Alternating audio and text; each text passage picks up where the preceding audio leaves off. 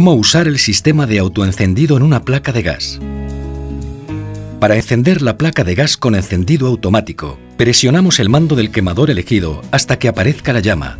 Esto puede tardar unos segundos y lo giramos hacia la izquierda hasta la posición deseada de menor a mayor potencia. Para apagarlo simplemente giramos el mando hasta la posición original de apagado.